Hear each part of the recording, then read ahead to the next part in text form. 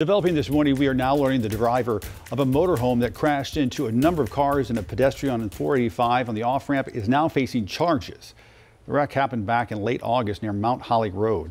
Investigators say 80 year old Robert Reiser's charges include misdemeanor death by a vehicle. One person was killed, two officers were hurt in that incident. Meantime,